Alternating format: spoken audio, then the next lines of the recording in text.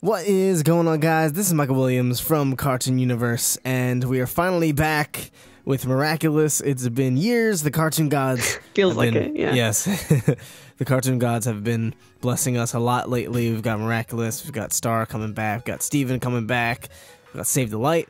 It's been lots. There's a lot to cover. I am Mykal Williams. I'm joined once again by Hailey. She's back. She's here. She's alive. Woo, kind of, yeah, for for now. Yeah, she's to record with Mykal about Miraculous. yeah, she's getting bodied by uh, midterms right now and school. in Yeah, well, I mean that's over, but then there's just yeah more projects coming. So you know, I'll get a break during winter and then when like nothing's airing, of course. But you know, Yeah, of course, Um, naturally. yeah, I know. But we're gonna talk about theories and stuff probably. And it looks like so far from Reckless, we are getting stuff, which is. I don't know what I expected, but I don't think I expected what ha- happened in the first episode to happen to like the middle of the season. Um, Yeah. if not the end, honestly, because of how the pacing of the show had been thus far. But um, I don't know. After the first episode, it seems like it's kind of back to status quo almost. I don't know. Yeah, so we're just gonna kind of give our general thoughts on the season two, like the first few season two episodes. Not like an in-depth thing. We're not gonna go down every single episode and recap every single thing that happened. We're just gonna give our overall opinions on what's been happening and kind of tackle the main big plot points and our thoughts on the direction so far. Um, I'm, we might not be using uh, any clips or editing images right now because the last time we did that, uh, we got we got slammed pretty hard uh, by On Entertainment, um, and that was just from using images. And Yeah. granted, those were leaks, but these episodes technically haven't aired outside of I think the UK uh, and or France. So I don't know if putting any images up would be a problem. So you know, if you want to just do your laundry or walk your dog. Or scroll the interwebs uh, while, while you're just listening to this is Yeah. kind of like a podcast style thing, then that might be what you want to do. I apologize for the lack of uh, entertaining visuals, but uh, that's going to probably keep happening until you know some of these episodes come uh, more to the Americas, and then we can kind of be a little more, a little more lenient uh, with what images and or clips we use. But for now, we want to be as safe as possible because they're really cracking down hard on uh, people putting their stuff out there. So anyway. So, Sadly. what are your Yeah. uh, before we like get into the general, more specific stuff? What are your overall thoughts uh, on the season so far? Well, I pretty much mentioned like how I was kind of surprised about the first episode, which was the collector, um, and how that kind of you know revealed a lot of stuff. Uh, do you want me to get specific now, or you just want me to be a little more general? Yeah, go for it. Go for it. Um, so basically, we got the Hawk Moth reveal, which was, if not obvious, um, well, yeah, it was pretty obvious. But It is pretty people obvious. were still, some people were like, oh, you know, maybe somebody else. But come on, guys. And need you guys have that seat real fast. Uh, it's not a know. twi- it's not a twin. Uh, you know. yeah, so that happened, um, and that was pretty exciting, even though we already all knew the answer.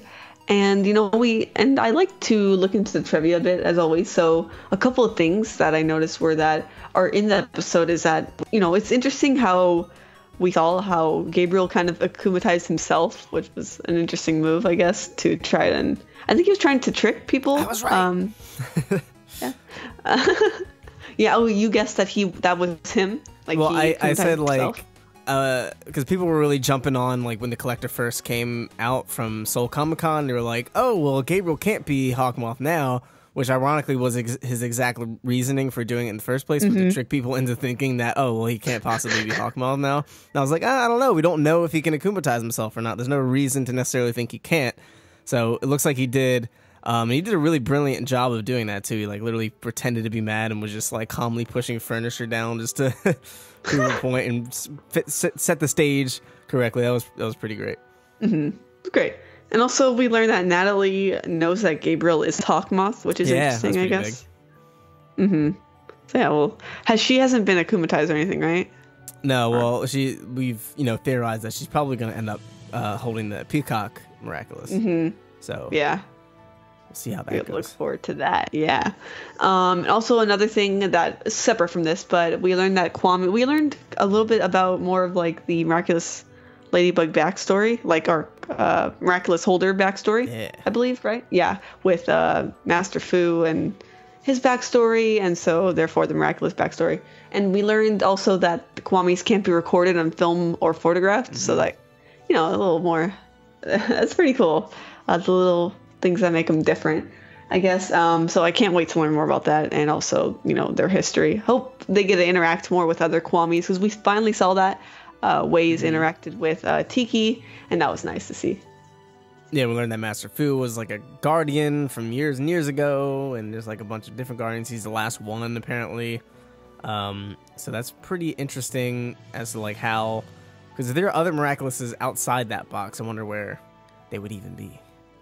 Yeah, and also like, what did do we know what Master Fu did to like screw everything up? Because he said he did.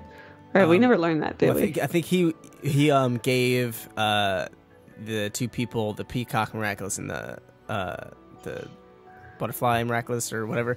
Didn't Um, um, Marinette asked where did you get the book, right? And Um, no, well he she he asked her where she got the book. No, but she also asked when she gave it back to him, like, oh, where did you get this book? And he was like, oh, Oh, yeah, yeah. I was on a trip to Tibet, I think, and he got it. So yeah, maybe that's to tie into that too. Interesting. Oh, you're oh you're talking about uh Gabriel. yeah. Yeah, yeah, yeah. um, yeah, that's pretty interesting actually. Uh, because now she's like, she's not so sure. Obviously, that I think that's what the main part of that was. She was like, hmm, where does this guy get this? Because she she was like, Yeah. she really hesitated. She was like, eh, I don't, I don't, I don't know. So I think she's Marinette's still pretty suspicious of uh, Gabriel being potentially Hawkmoth. Uh, I don't think she actually trusts him because that, that, that is very suspicious that you know he would have that book. It's so obvious, but um, of course, you know, Adrien. How would he? He how does he feel in all this? He's like, oh, you know, you think it's really him? I don't know. Yeah, But, it's, I think he's pretty much convinced it isn't so far, or just because mostly he wants to be convinced of that. hmm exactly. But eventually, it's gonna have to hit the fan. So I don't know how that's gonna work out. Um, I feel like eventually Hawkmoth's gonna end up becoming relatively good, and we're gonna learn more about his desires. Obviously, he wants the ultimate power to like bring back his dead wife or whatever, something like that. we don't exactly know, do we? Uh, Yeah, it's something in that ballpark. So we'll probably learn his tragic backstory, and then uh, you know, kind of sympathize with him, and then Adrien will learn that, and maybe they'll end up working out a deal, and then the Peacock Miraculous will end up being like the only real bad uh, in the entire series. So we'll we'll have to wait and see, but um, I think something along those lines will probably end up Yeah. happening. Um, but yeah, that was like the biggest episode. Uh, all the other ones, mostly for the for the most part, kind of followed suit with the first season. A little little bit of changes, kind of like subtle nods towards the, what's going to happen coming up for the rest of the season and season three. Uh, we've been getting you know some subtle hints that about Chloe joining the team, being nicer and being helpful and resourceful because she was helping uh, Ladybug and Cat Noir during that one battle um, and she actually was you know pretty much assisting. They kept kind of bringing that up and driving that home. So that's obviously kind of hinting towards the uh, quote unquote Justice League that's going to be you know start building Yes. between uh, Nani, uh, Nan- Nania, uh, Nino, Alya, and uh, Chloe with uh, Marinette and Adrien. We don't know if they're going to know each other's identities or not. I feel like once that many people have Kwamis, then it's going to get complicated. It's going to be pretty hard to not to know. Uh, so They all just be- have to go out of the room at the same time. Like, yeah, they all have to Oh. Uh, like 2 two is bad enough; it's already suspicious enough. But Yeah. all those people, really, guys, come on. Uh, so something like that will probably end up happening. Um, there's been a lot of, you know, ship shipping goodness for all you people yeah, out from there. like in Prime Queen, they really wanted to make sure we knew that people ship yeah, um, Cat Noir and Ladybug. Yeah, in And it's fun. The, my favorite part is when they brought up pictures from like old episodes of them doing stuff. yeah, that was great. That was great. Yeah. Yeah, and then and then there was the dance. Uh, I think they're also trying to, you know, they're they're really like pushing it more. They're not using it as just like this cheap like little haha, see, like n- nudge nudge. Like they're really trying to, I think, build the tension more. You know, Adrien was really adamant about dancing with Marinette, and then they got really snug and close there. Uh, he was like giving her compliments on her, her pastries and all that stuff. So I think they're kind of driving home that Adrien wants is is probably interested in Marinette. the same way, and they've been you know they hinted that towards that in season one too, but I think they're really trying to go for it more, uh, and hopefully.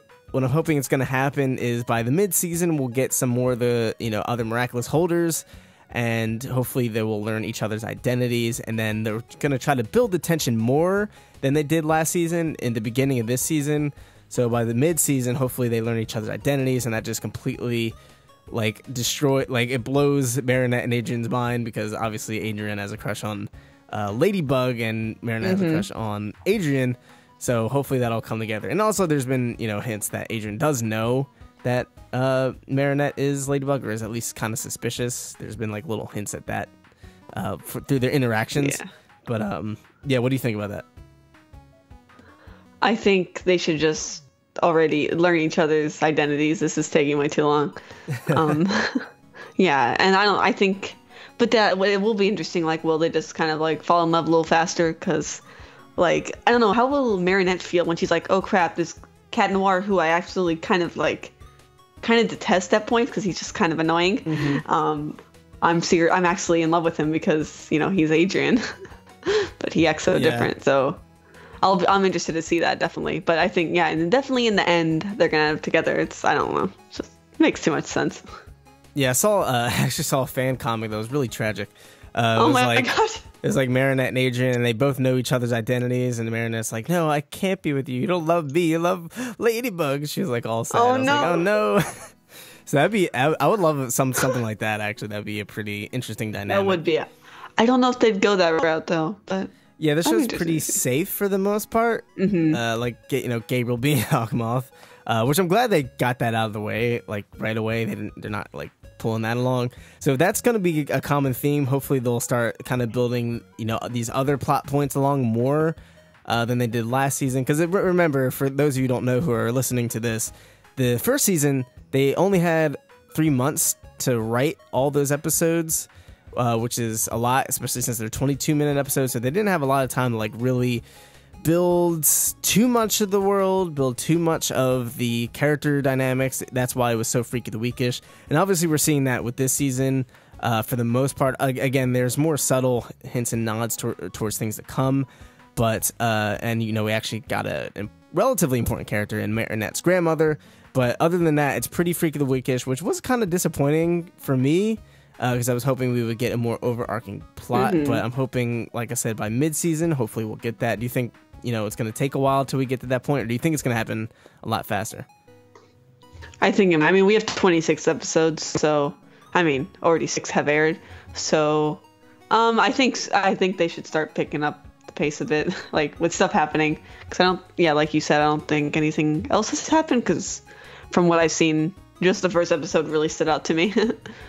yeah, for sure. And like, well, I don't know how many people were left to get akumatized really like obviously they're introducing they, no, new I mean, characters they, it seems this season they keep introducing like a new side character for the episode right um how many times are they gonna do that every single time yeah, yeah. like one of them just like adrien's fencing teacher or something like that it's yeah. like oh okay yeah it's super random, random. i think mm-hmm. we're probably gonna get mayor bourgeois because there was a villain named the dictator so that's probably who that is yeah uh, but other than that I'm hoping we get, like I said, get to an overarching plot pretty soon. Um, and we also do know that there is a greater universe at hand with other superheroes and stuff. So I feel like they can't really not address that for so long. They can they can only push that off so long. So hopefully we see more of that. But we do have a lot of episodes left, so you know they can kind of take their time more here. And like I said, there are more undertones of the future episodes now, more so than the first season.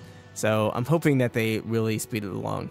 Um, but this, the fact that they did start with the collector and they immediately told us who Hawkmoth was yes. right from the jump is a good sign. That says to that, me yeah. that they are trying to do some do some damage here uh, instead of waiting till the, like the last two episodes to give an origin story and all this Honestly. lore and stuff, um, yeah. and Volpina and all that good stuff. So hopefully it will speed along a lot faster. But um, yeah, I think that's that's pretty much all I have to add to it. Like I said, a little disappointed that it's becoming more season one ish, but I do think it's gonna pick up very soon.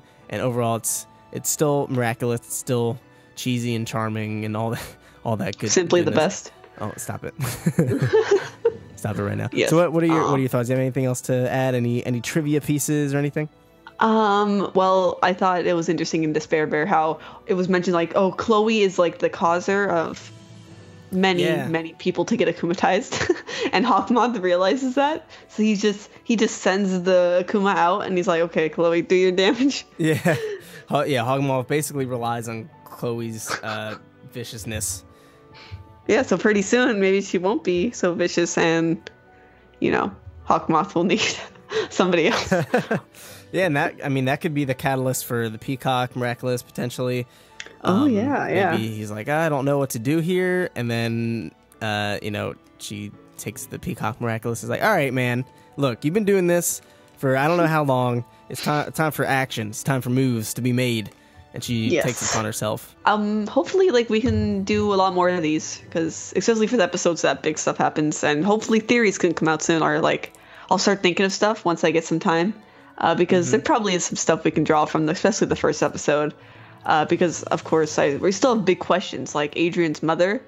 Um, what's up with that? Like is she, you know you mentioned that she might be dead which is kind of sad but i mean that would give a big reason.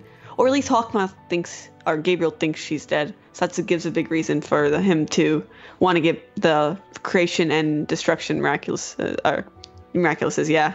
So there's still that and there's still a bunch of other questions that hopefully theories can you know help give an answer to For sure, for sure. Yeah, I think that'd be a pretty cool, you know, motivation, be good origin story for uh, Gabriel Mm-hmm. slash Hawkmoth, and it would make sense for as to why he would want the ultimate power because that's the only way he could do that. yes Which is ironic because like he could probably just ask uh, Ladybug and Cat Noir like, "Hey, look, uh, my wife's my dead. wife is dead Uh, could you could you hook me up?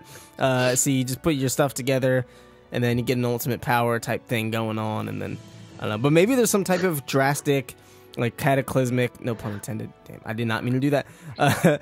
Uh, uh, type of event or stop it. uh, cataclysm.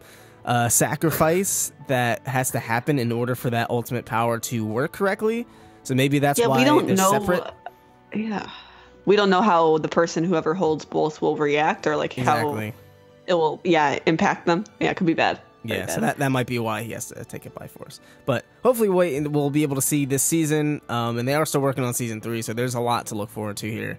Um, and again, going to season three, I have no idea how they're gonna use all these Paris citizens for that. Yeah. Um, we do know that she's. oh gonna, my gosh true true Yeah, it, I mean, shows can change drastically from season to season, so it doesn't have to be like villain of the week anymore. Which I would be, I would be happy with that change, honestly. yeah, for sure. And we know she's going to uh, New Mm-hmm. York at some point.